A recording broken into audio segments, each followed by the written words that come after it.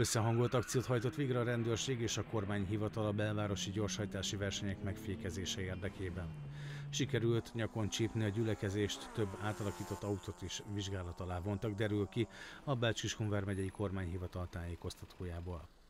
A Kecskeméti Rendőrkapitányság közlekedésrendészeti osztálya és a Bácskiskun megyei kormányhivatal közlekedési, műszaki engedélyezési és fogyasztóvédelmi főosztályának járműforgalmi osztálya a késő esti órákban együttesen vonult ki.